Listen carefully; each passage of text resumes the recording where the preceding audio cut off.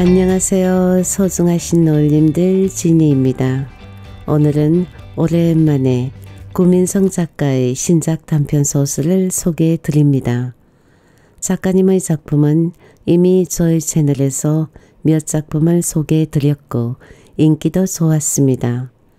작가님은 창작 활동을 하시며 유튜브에 직접 구민성 글방을 운영하고 계시는데요. 사날배 동화와 친구야 있잖아 꽁트 중심으로 작가님이 직접 낭독을 하십니다. 관심이 있으신 노을님들께서는 한번 방문하시어 응원해 주시면 감사하겠습니다. 오늘 소개해드리는 꼰대와 애새끼의 작품 개요는 작가님의 작품 의도로 대신하겠습니다. 본 작품은 우리 사회의 심각한 세대 갈등을 신구 세대 각각의 눈으로 살펴봅니다. 궁극적으로는 세대 간 이해의 폭을 넓히자는 평범한 결론이지만 그 평범함에 대한 사회의 비범한 노력을 기대하는 마음으로 썼습니다. 사람의 앞모습만큼이나 뒷모습도 볼 수 있는 자성의 의미이기도 합니다. 그럼 오늘도 책과 함께 행복한 시간 되십시오.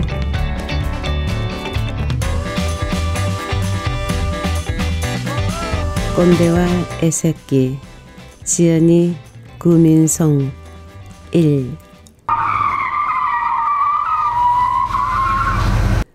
자주색 페라리가 불과 1미터 앞에서 멈추었다.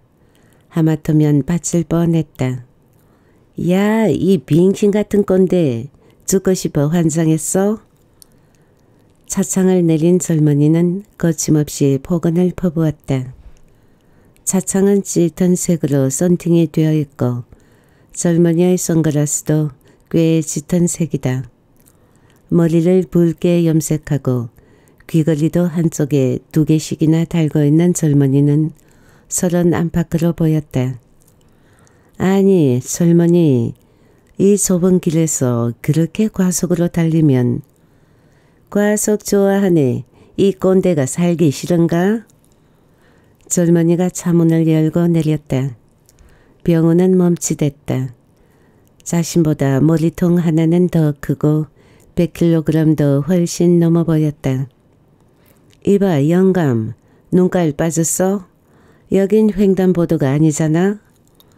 또 영감이란다. 아직은 이런 말이 낯설고 어색하다.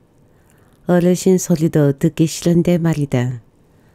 젊은이는 삿대질에 반말과 욕설까지 섞어가며 쉼을 튀겼다. 행인들은 아무도 끼어들지 못하고 제갈 길만 재촉했다. 병원은 이 젊은이가 두려운 만큼 행인들도 야속하다는 생각이 들었다. 우고는 아무도 없고 복잡한 인도마저 텅 빈 느낌이었다. 죽고 싶으면 곱게 집에서 죽어 객사하지 말고 지김이.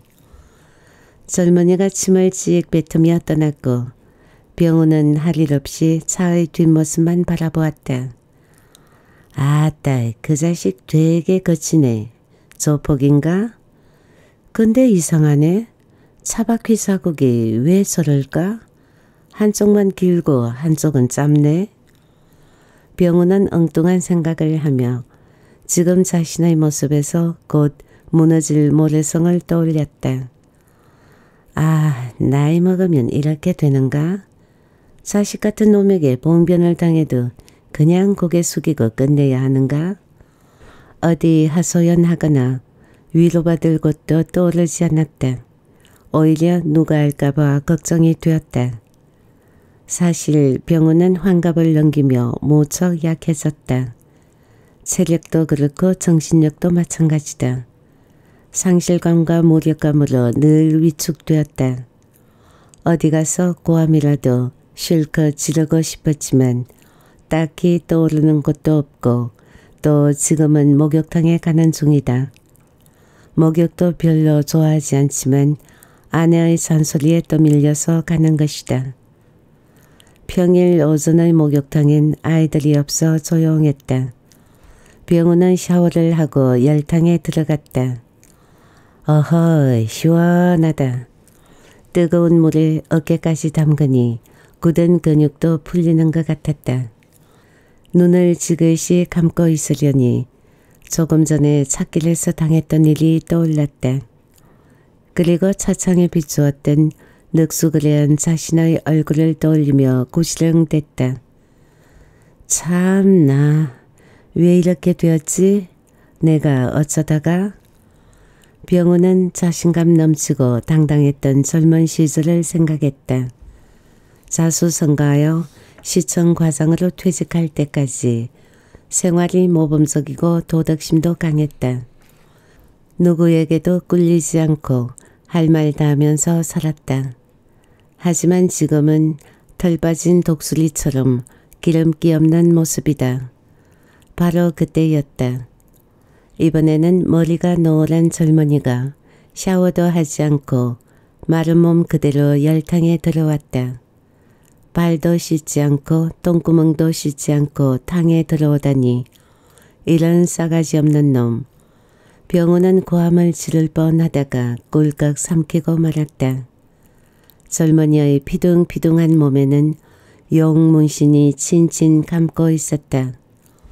더구나 그 용의 눈이 자기를 노려보는 것 같았다. 또 가슴부터 배꼽 옆에까지 쭉 거진 흉터에는 수술 자국인지 폭력의 흔적인지는 몰라도 어떤 위압감이 느껴졌다. 젊은이가 탕에 덤벙 앉으니까 물이 확 넘쳐나갔다. 하지만 녀석은 금방 일어났다. 아이고 뜨거워라 젠장.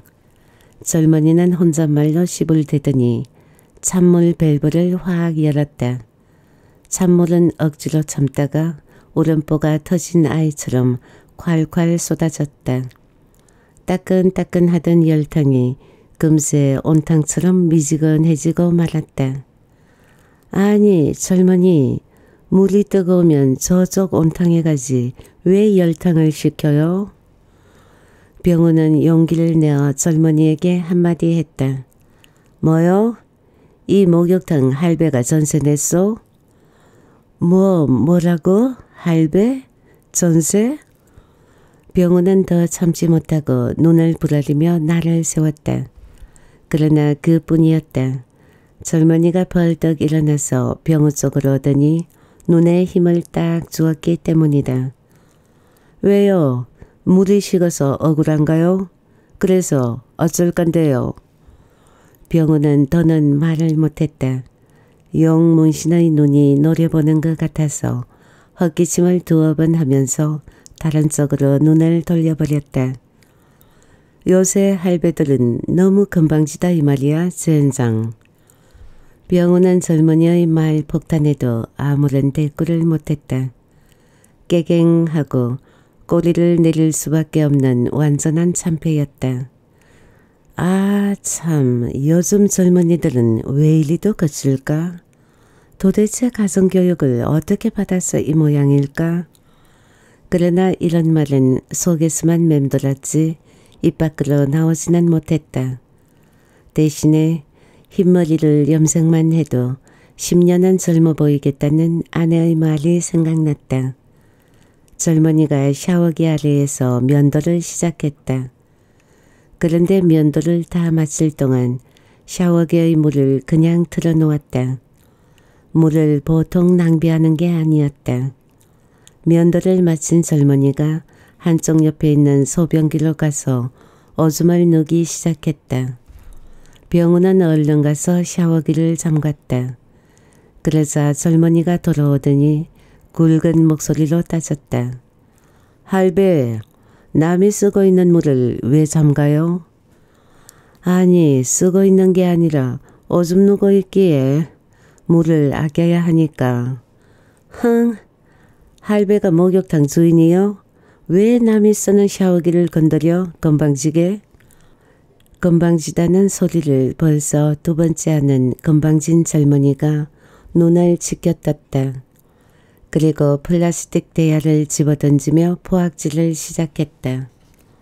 이런 젠장, 물을 아끼라고? 목욕비 냈으면 물 쓸 권리가 있잖아.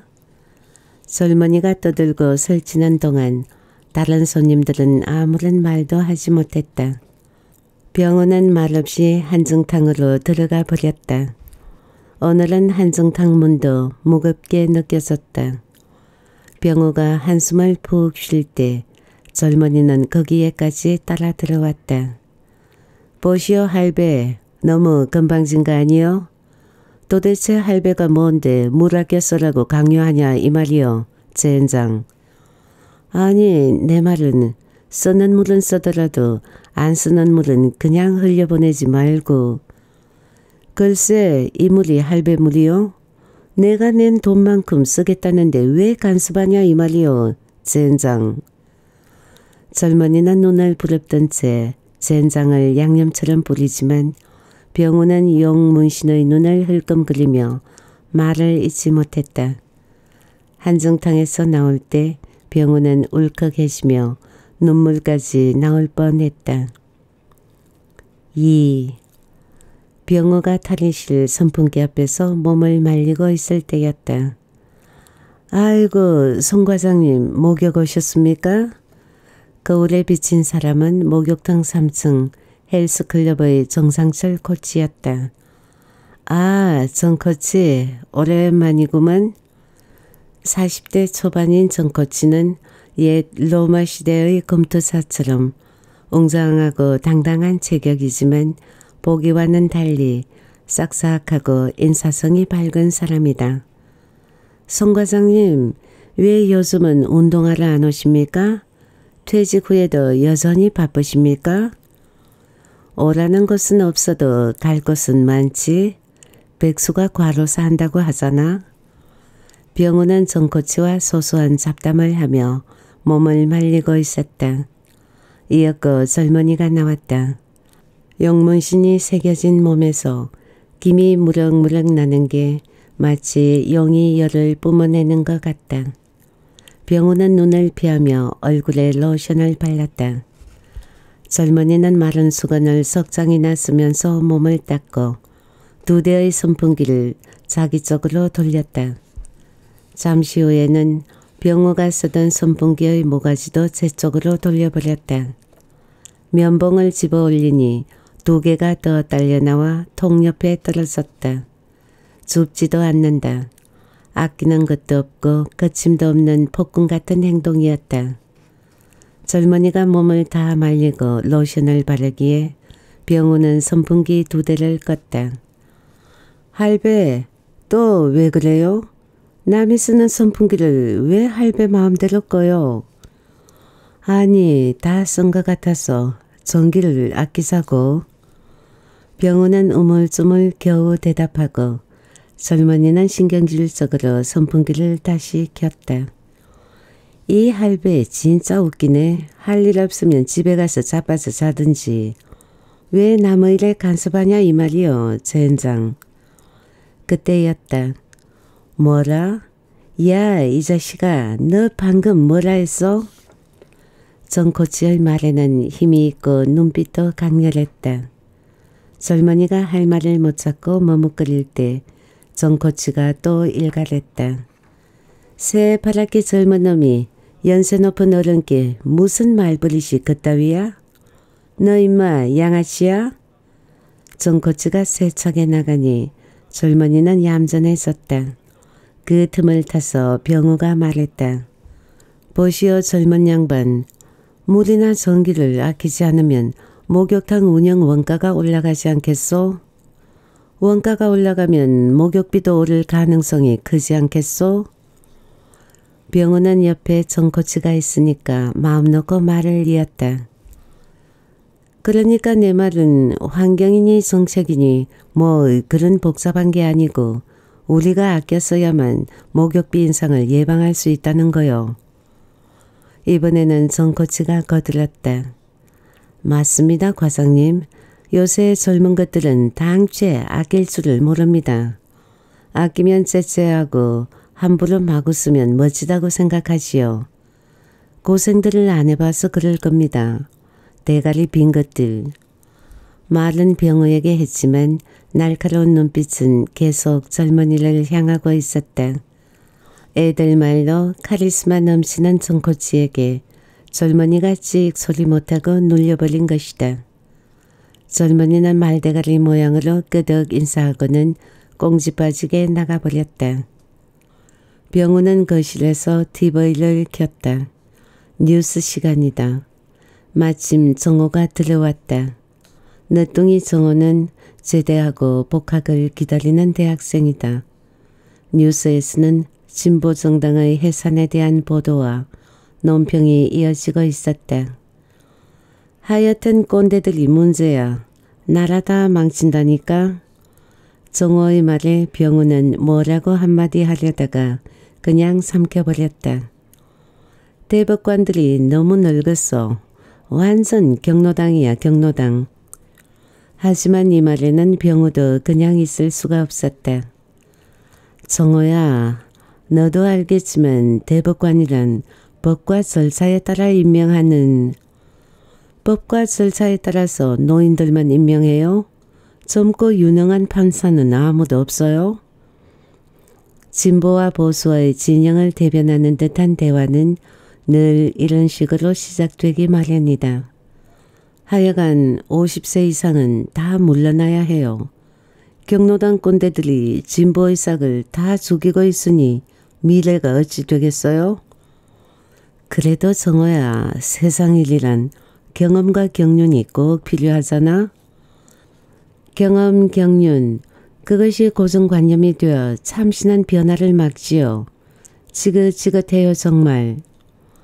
이야기가 이렇게 진행되면 거의 뻔한 방향으로 간다. 병호는 우리 젊었을 땐 어른들 말씀을 잘 들었다로 시작해서 가난과 고생의 이야기까지 길고 느리게 이었다. 험난한 시대를 극복하는 데는 파독 광부와 간호사들의 눈물이 밑바탕이 되었고 파월 장병과 사우디 근로자들의 핏땀이 미끄럼이었다. 경부고속도로와 포항제철은 역사의 훈장이다. 지금의 화려한 디지털도 실상 그 바탕은 아날로그에서 시작되었고 그 아날로그의 조역은 지금 너희가 꼰대라고 부르는 우리 장년층이다. 일하면서 싸운 우리가 경제와 민주화의 불을 피웠다.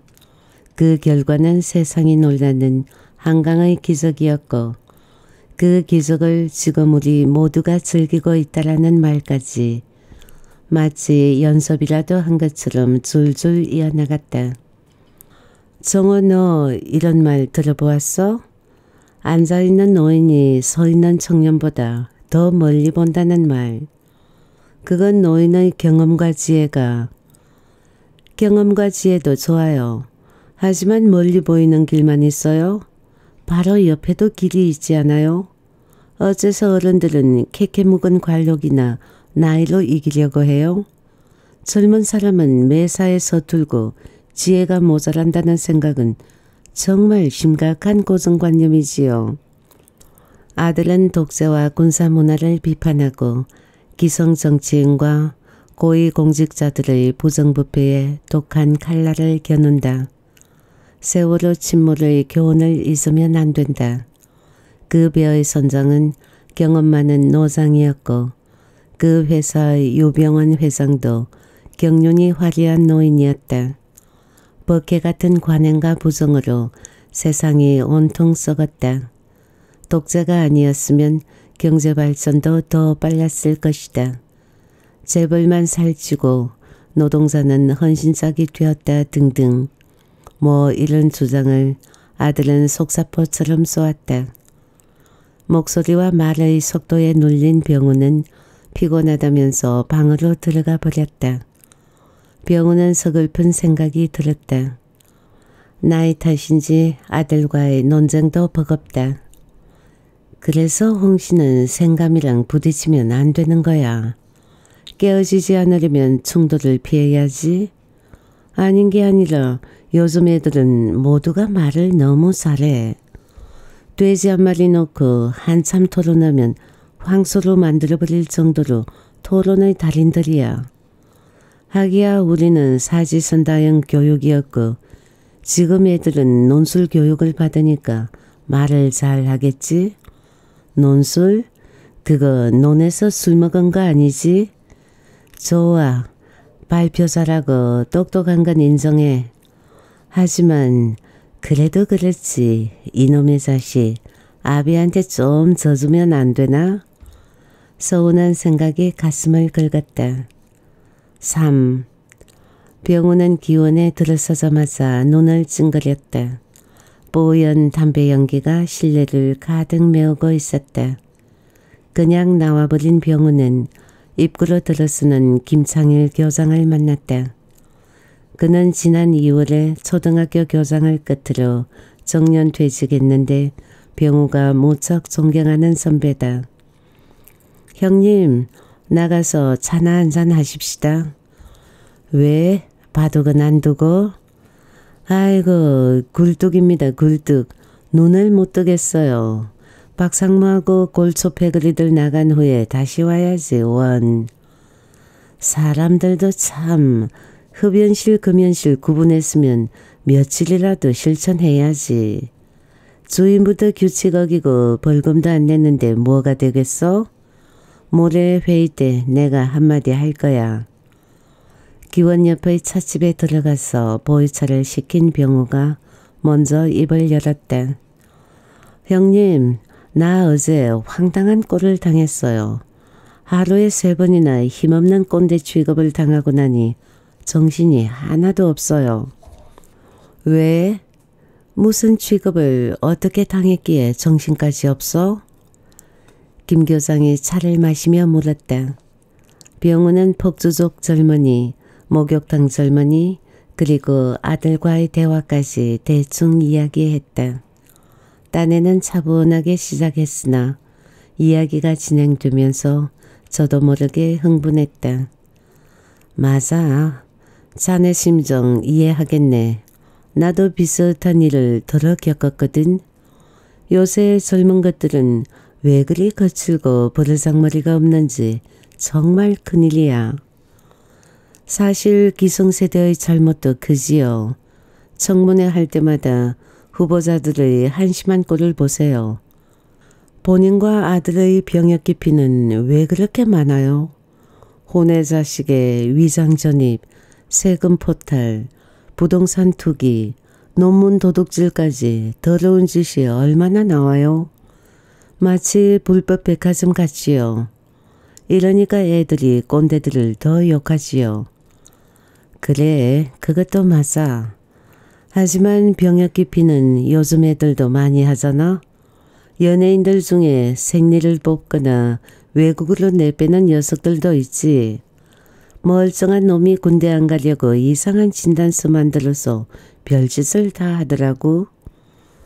이번에는 김 교장이 병우 찻잔에 차를 따랐다. 어느 사회에나 특권의식이 있고 옛날에도 권력자들의 탈법이 많았지요. 이것은 세대차가 아니고 개인의 가치관 문제입니다. 그래도 요즘은 사회 고발 기능이 강해서 많이 투명해졌지요. 위선자와 비판자의 대립, 꼰대들과 애새끼들의 갈등, 어찌 보면 이런 요소가 세대교체의 원심력이긴 합니다만 솔직히 우리 세대가 제일 과도기석이야. 수동타자기의 마지막과 전동타자기의 처음을 연결했지. 아날로그와 디지털 사이의 문지방이 우리야. 부모님 모시는 마지막 세대이면서 자식에게 노후를 기대하지 않는 첫 세대야. 정말 파란만장한 세대 아닌가? 김 교장은 시선을 창쪽으로 보내며 생각에 잠겼다. 그의 이마주름이 세월의 덮개를 보여주는 흔적 같았다. 형님, 우리 집의 애들놈은 꼰대들이 물러나야 한다고 해요. 흥, 물러나면 기둥이 약간 삐뚤어졌다고 빼버리면 그래 지붕만 둥둥 떠 있을 수 있어? 그리고 저희는 꼰대 안 되는가? 애들은 꼰대들이 창의와 혁신을 막는다고 비판해요. 병우는 마음에 안 드는 애들을 일러바치는 투로 말했다. 창이? 그거 요새 나오는 거 아니지? 세종대왕과 훈민정음과 장영실의 발명품들이 모두 창이었고 이순신의 거북선도 혁신이었어? 경부고속도로와 새마을운동도 창의적인 도전이었지. 정주영과 박태순의 성공신화는 최고의 혁신 모델이었잖아. 그리고 기술과 경제 발전이 모두 그 당시 꼰대들의 전리품이었지. 지금 내가 말한 내용들을 그분들이 청년 시절에 이루었나? 아니지. 청년 시절에는 공부했고 중장년이 되었어야 창의적인 성과를 만들었어. 안 그런가? 김 교장은 차근차근 설명하면서도 열정이 넘쳐 보였다. 평생 아이들을 가르쳤던 그의 말은 언제나 논리 정연했다. 맞아요. 애들은 창의와 혁신이 요즘 갑자기 생겼거나 저거들의 전유물처럼 말하지만 기성세대에서 만든 바탕이 더 많지요. 요즘 스마트폰이 어쩌고 해도 그 뿌리는 모두 아날로그에서 시작된 거라고. 목마를 때 물 떠먹던 험바가지를 함부로 부수면 안 돼. 험바가지는 그것대로의 쓰임새와 역할을 존중해야 해. 그런 노력이 창의와 혁신의 마중물이지. 지금 새로운 그릇이 생겼다고 옛날 바가지를 다 버리면 되나? 사람이나 물건이나 마찬가지야. 그렇죠. 요즘 젊은 것들은 뭘 아끼는 게 없어요. 조금만 필요하면 카드로 덜렁 사고 조금만 필요 없으면 멀쩡한 것도 마구 버려요. 애들이 너무 풍족하게 자라서 그래요. 병우는 어제 목욕탕 젊은이의 해픈 행동을 생각하며 애들의 낭비벽을 비판했다. 우리가 이면지 쓰는 것을 답답하게 여기는 애들도 많아. 비닐봉지나 종이상자 수집하는 노인을 궁상스럽게 보면은 안 돼. 그건 절약과 저축의 실천이지. 만약에 그런 노력이 없었다면 지금의 풍요가 어디에서 나왔겠나? 한참 열올려 이야기하다 보니 시장기가 돌았다. 벽시계는 12시 20분을 가리킨다. 형님, 곰탕 먹으러 가십시다. 오늘은 제가 쏘는 날입니다. 3대째 영업하는 곰탕집에는 점심시간이 전쟁판이다. 오늘도 현관에는 손님들의 신발로 넘쳐난다. 거기서 병우가 나무 운동화를 약간 밟고 말았다. 에이씨, 나무 신발을 왜 밟아요? 재수없게? 마침 밖으로 나오던 신발 주인은 정오 또래로 보이는 젊은이였다. 아니, 일부러 밟은 것도 아니고 복잡해서 좀 실수한 걸 갖고 뭘 그리. 젊은이가 병호의 말을 자르며 팩 쏘았다. 그러니까 조심해야지요.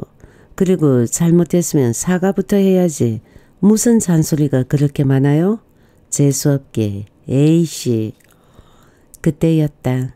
김 교장이 버럭 고함을 질렀다. 이봐 젊은이 너무 지나치네. 어쩌다가 실수한 걸 갖고 부모 같은 어른에게 그 무슨 태도가 그래? 글쎄 실수했으니까 사과부터 해야지요. 아직 사과를 안 했잖아요. 진짜 재수없게. 젊은이는 조금도 물러서지 않고 눈을 똑바로 떴다. 그래요. 내가 실수했어. 미안하외다. 병우는 젊은이와 계속 입씨름하는 게 남사스러워 그냥 사과를 해버렸다. 다음부턴 조심하세요. 이건 비싼 이태리째니까요. 젊은이는 아무런 흠집도 없이 깨끗한 운동화를 일리서리 살피더니 탁탁 털었다. 병우와 김교성은 곰탕을 먹으면서도 마음이 편치 않았다. 요즘 애새끼들 겁나요 정말. 병우가 깍두기를 씹으며 짧은 푸념을 했다. 4. 오빠 퇴근 후 쭈꾸미였대? 전에 그 집 6시 10분 오케이? 최지수가 보낸 문자였다. 9급 공무원 3개월 차 지수는 정호보다 2년 후배인데 고등학교 때부터 지금까지 사귀는 중이다. 쪼꾸미 4인분에 소주 한 병 주세요. 지수는 자리에 앉자마자 아르바이트생에게 주문했다. 왜 4인분이야? 오빠 많이 먹으라고. 정호는 싱긋 웃으며 지수에게 술을 권했다. 지수는 완전히 칼퇴구나. 그럼 6시 땡 하면 사정없이 나오지? 윗사람들이 싫어하지 않아? 처음에는 좀 싫어했지만 요즘은 안 그래. 퇴근 시간 되어서 퇴근하는데 뭐가 틀린 거야? 지수는 권리와 의무를 확실히 구분하지만 정호는 그런 게 은근히 걱정되었다. 하지만 윗사람들이 퇴근하고 나서 왜? 그들은 자기들 시간, 나는 내 시간에 퇴근하면 되는 거지. 솔직히 늦게 퇴근하는 사람들은 일 많이 안 해.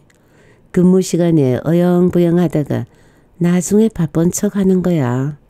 대충은 그래. 지수는 똑 소리나게 처신한다. 업무는 규정에 어긋나지 않으면서 불합리한 일로 손해볼 마음도 전혀 없다. 동장은 젊은 직원들이 자리에 앉은 채 인사하는 것을 싫어했다. 버릇이 없어 보인다는 이유였고 우리 때는 안 그랬다며 몇 번이나 훈계했다. 그래서 직원들은 동장이 들어오면 엉거주춤 일어서는 척을 했다.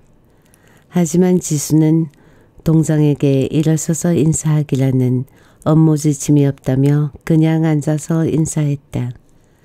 대신에 밝게 웃으며 인사했고 동사무소의 직원들과 민원인에게도 항상 친절하게 대했다. 성호는 평소에 아버지에게 보수를 비판하지만 그래도 다른 젊은이들보다는 보수에 가까운 편이다. 그것은 아버지와의 잦은 대화에서 영향을 받은 바가 크기 때문이다.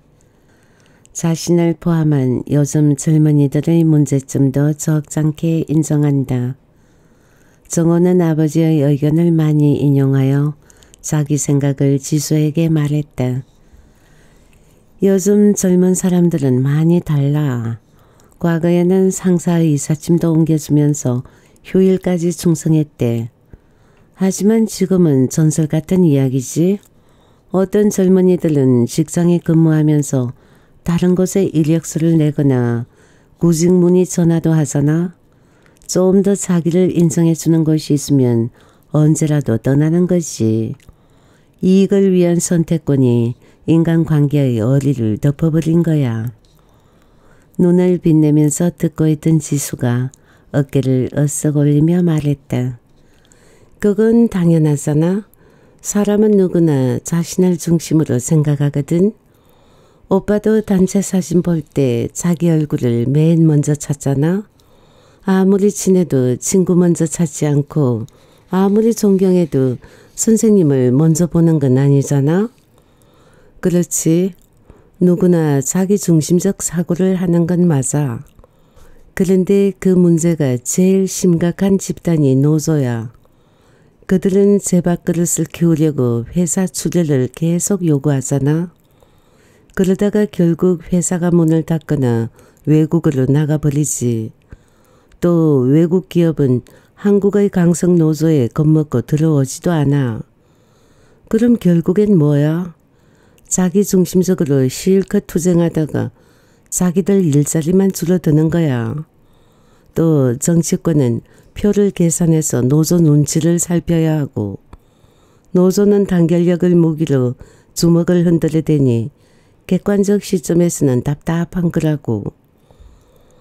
큰 그릇 뺏기 경쟁하다가 끝내 깨뜨리는 꼴이네. 그런 것이 청년 실업률을 높이니 안타깝지. 또 귀족 노조의 고통 분담을 기대한다는 것은 짝사랑에 가까운 사치병이라고 보아.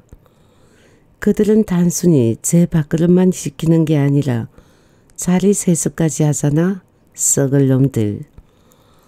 옆 테이블의 남자들이 이쪽을 건너다보는 표정이 어딘가 불만스러워 보였다.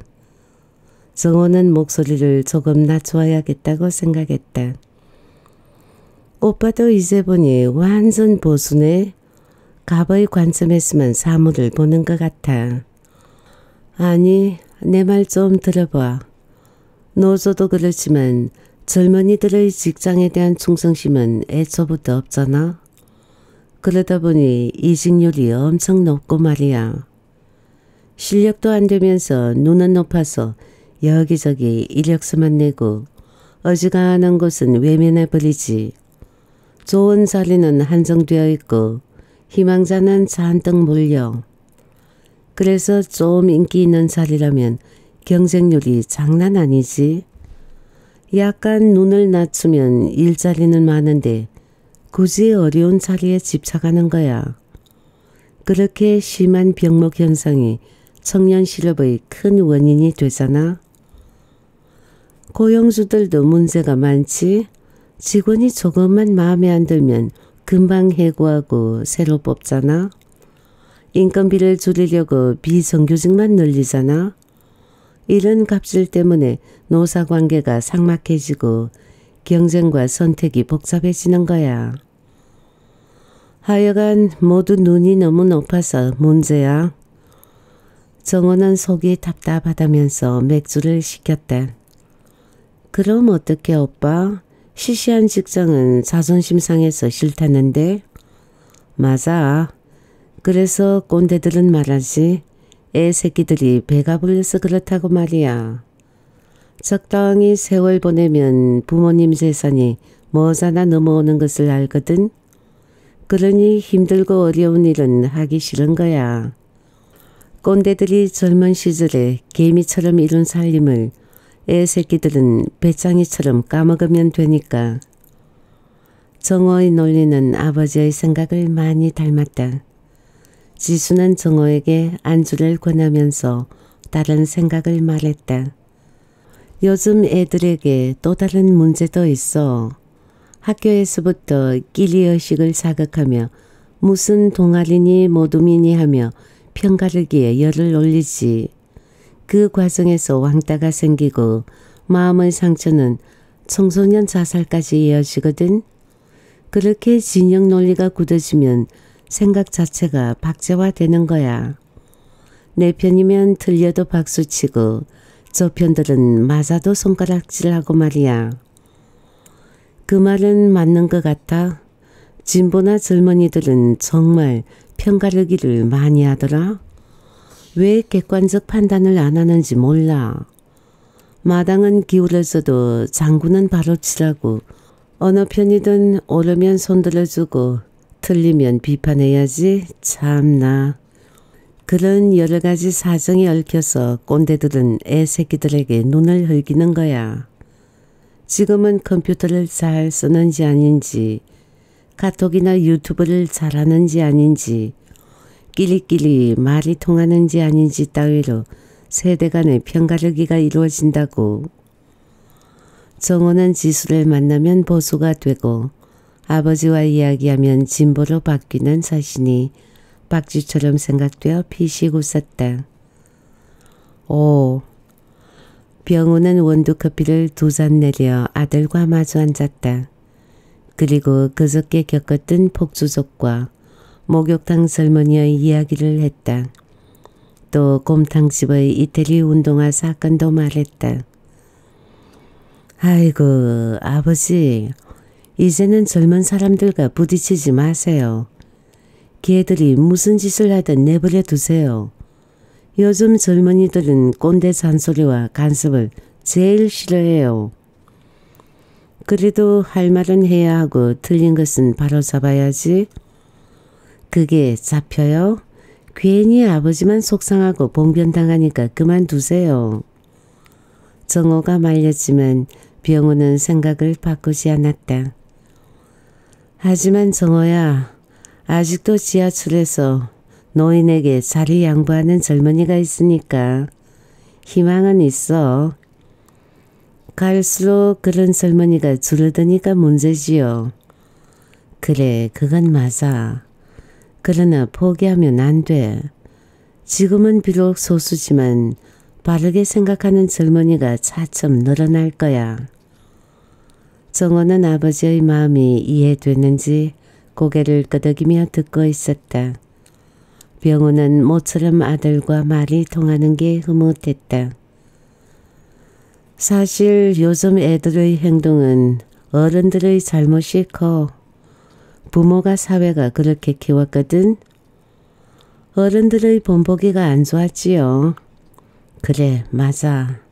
애가 어른을 키운 게 아니고 어른이 애를 키웠으니 어른들도 반성이 필요하지만 생각을 바꿔야 할 젊은이들도 많아요. 이기적이고 폭력적인 젊은이, 떼거리로 몰려다니며 억지 소리하는 젊은이도 많아요. 그런 인간은 싸가지 없는 애새끼가 맞아요. 지금 진보의 주축인 젊은이들이 어른들의 6, 70년대 근대화 노력을 이해해야 하지.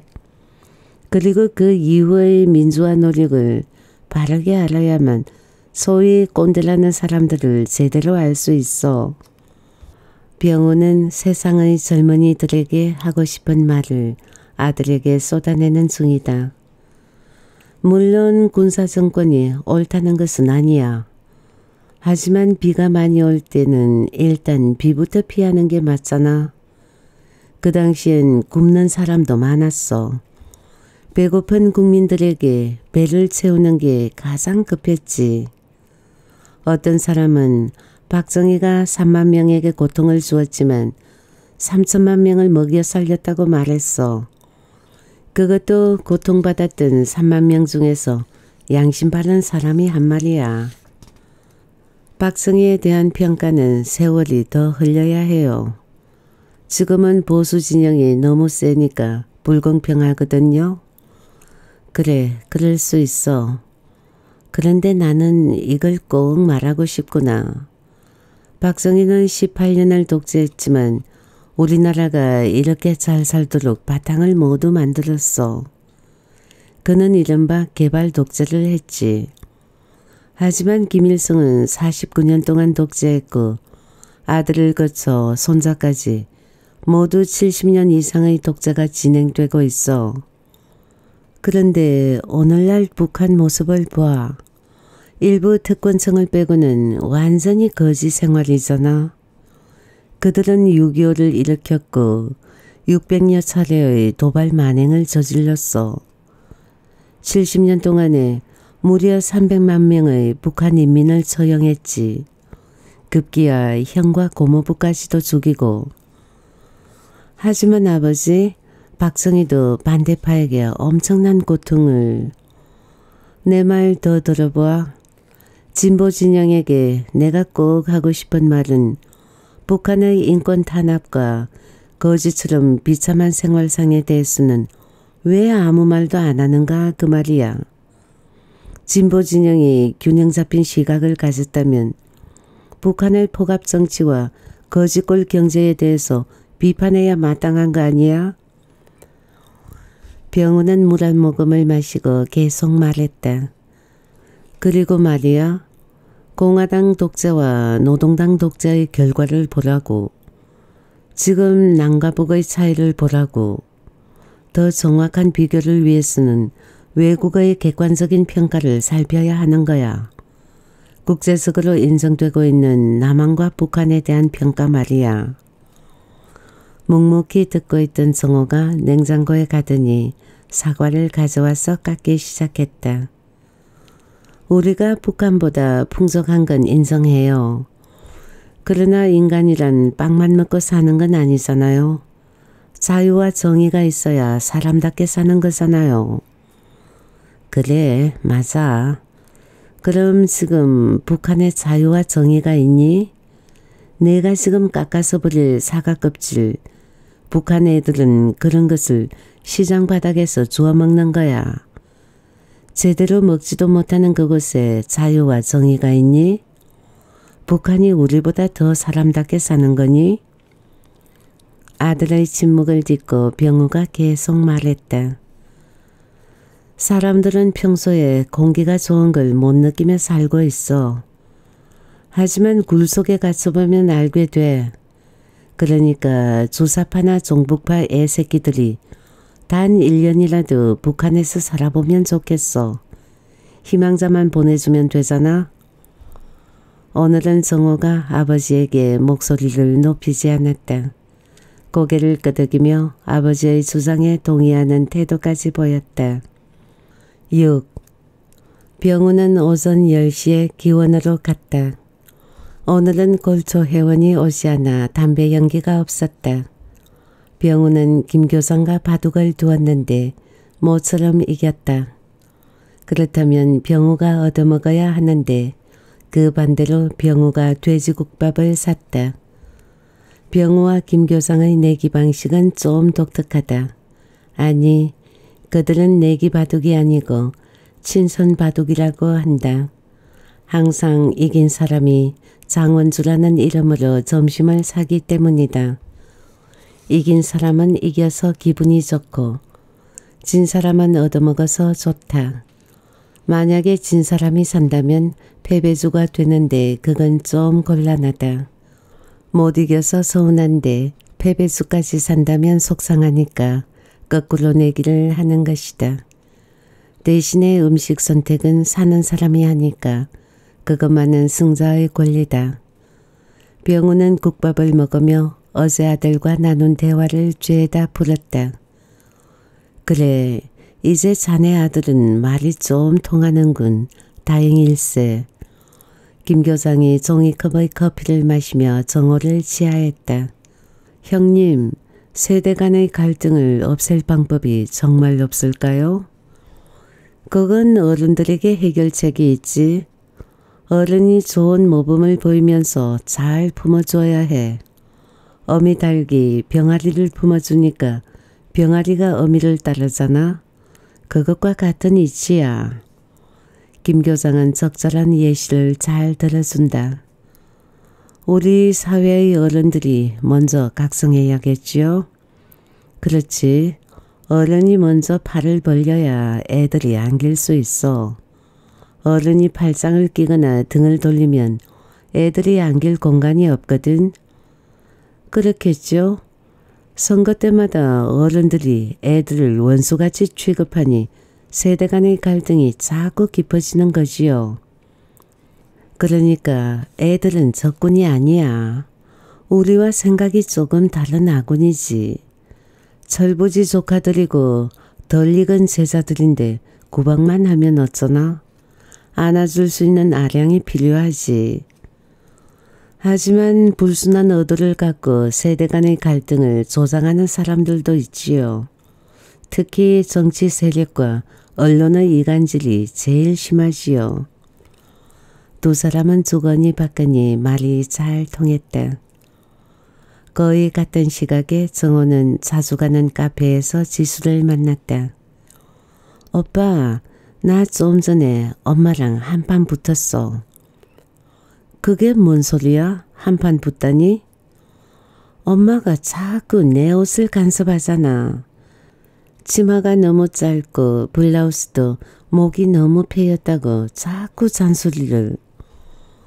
그 문제는 나도 엄마 말씀에 동의해. 사실 요즘 젊은 여자들의 노출 욕구가 얼마나 심하니. 정호가 진지하게 말하니까 지수는 김새따는 표정으로 어깨를 털썩 내렸다. 피, 오빠도 꼰대 냄새 펄펄 날리네? 아니, 꼰대가 아니라 너의 몸을 다른 사람이 유심히 보는 거 사실 나도 싫더라고. 그래도 예쁘게 보이고 싶은 건 여자 본능이지. 야한 차림이 꼭 예쁜 건 아니지. 짧은 옷, 착 달라붙는 옷이 성추행 발생률을 높인다는 연구 결과도 있다던데. 어른들은 자식의 안전과 품격을 위해서 그럴 거야. 어른들을 이해해야지. 지수는 커피를 한 모금 마시더니 또 불평을 늘어놓았다. 그리고 엄마는 내가 코 세우는 것도 반대야. 정말 내가 원하는 것은 모두 반대하거든. 코? 그건 나도 반대했잖아. 괜히 수술 잘못하면 더 흉해. 부작용도 있고 말이야. 아니, 내 친구 수연이도 했는데 예쁘기만 했어. 그건 그 친구 이야기지. 꼭 친구처럼 할 필요는 없잖아. 게다가 넌 지금 이대로가 더 예뻐. 지수는 지금이 더 예쁘다는 정호의 말에 기분이 좀 풀렸다. 그리고 말이야, 우리가 어른들을 좀 이해할 필요가 있어. 남의 어른까지 어렵다면 최소한 우리 집 어른에 대해서만이라도 이해 노력이 필요하다고. 나도 그 말에는 동의해. 사실 젊은 사람들도 문제가 많기는 해. 지수의 동의에 탄력을 얻어 그런지 정호의 말에는 힘이 실렸다. 젊은이들이 자기 집 어른만 이해하고 존중해도 세상은 많이 좋아질 거야. 우리 아버지만 봐도 그래. 어릴 때부터 춥고 배고픔을 극복하며 치열하게 살아오셨더라고. 모진 세월을 살아오면서 고목처럼 늙으셨어. 그런데 우리 자식들이 존중해드리지 않으면 그분들은 얼마나 허탈하실까? 오빠가 고목이라 하니까 나무의 삶이 생각나네. 나무의 뿌리가 상처 입으면 줄기와 잎이 시들고 결국엔 꽃도 죽잖아. 연쇄 반응이지. 지수가 정호의 눈을 보며 차분하게 말했다. 그렇지. 우리가 꽃이라면 잎과 줄기와 뿌리에 감사해야지. 그런 다음에 우리는 또 열매를 맺어야 하고. 열매? 맞아. 사람들은 열매를 위해서 결혼을 하지. 잠깐. 오빠, 내가 퀴즈 한 문제 낼까? 뜬금없이 웬 퀴즈를? 있잖아. 아기가 엄마 몸에서 세상으로 나올 때 주먹을 꼭 쥐고 나오는 이유가 뭐겠어? 음, 뭘까? 혹시 힘든 세상에 나오면서 열심히 살겠다는 각오를 외치는 걸까? 응애 응애. 정원은 두 주먹을 자신의 볼에 대며 우스꽝스러운 표정으로 아기 울음을 흉내내었다. 땡 틀렸습니다. 다시 한번 기회를 드립니다. 지수는 장난처럼 말했지만 정호는 심각한 표정으로 말했다. 음, 나중에 빈손으로 갈 거니까 아예 처음부터 맨주먹으로 등장한다는 의미? 땡, 틀렸습니다. 정답은 엄마의 자국 내벽에 상처 내지 않도록 조물주가 배려한 그래. 그건 우주의 섭리라고 했어. 와우, 지수 굉장한데? 그걸 어떻게 알았어? 라디오에서 들었는데 장차 엄마가 되려면 이 정도는 알아야 하겠지? 지수는 정호가 몰랐던 것을 말할 때는 항상 우쭐한 표정을 지었다. 맞네. 아기가 손가락을 펴고 나오면 엄마가 찔리니까. 그거 참... 인간은 태어날 때부터 효성이 있다는 말이군. 부모가 사랑으로 아이를 낳아 키우고 아이도 효성으로 부모를 공경하면 그게 바로 유토피아일 거야. 정호는 지수와 함께 생각의 틀을 잡고 키우면 싸가지 없는 애 새끼에서 벗어날 거라는 생각이 들었다. 정호는 부모님께 참외를 깎아드렸다. 싱글싱글 웃는 것까지 평소에 잘 하지 않던 행동이라 부모님이 좀 의외라는 표정을 지었다. 아버지는 말없이 눈치만 살폈지만 어머니는 고개를 갸웃하며 물었다. 정호야, 너 용돈 떨어졌니? 아니요, 용돈은 아직 남아 있어요. 그럼? 뭐가 그럼이에요? 그냥 효도 연습하는 건데요. 이야, 연습이 이 정도면 진짜 효도할 때는 어떨까? 기대가 큰데? 어머니의 웃음소리는 맑고 높았다. 지수는 집에 와서 옷장을 정리했다. 짧은 치마와 핫팬츠, 배꼽티, 목이 많이 패인 블라우스까지 노출이 심한 옷을 꽤 많이 골라냈다. 이 옷은 수연이에게 주고 저 옷은 미라가 탐을 냈었지. 지수는 두 개의 종이 가방에 옷을 나눠 담으며 노래를 불렀다. 자신도 모르게 흥얼흥얼 나온 노래는 노래방에서 엄마가 불렀던 동백 아가씨였다.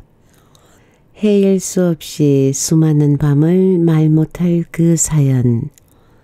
지수는 뒷부분 가사를 잘 몰라 콧노래로 멜로디만 웅얼거렸다. 그리고 생각했다. 그래, 이 노래를 배워서 엄마랑 노래방에 가야겠어. 엄마 애창곡이 또 뭐였지? 아, 맞아. 연분홍 치마가 봄바람에 또 모르겠네. 인터넷 검색창에 동백아가씨라고 찍는 지수의 눈은 빛났다.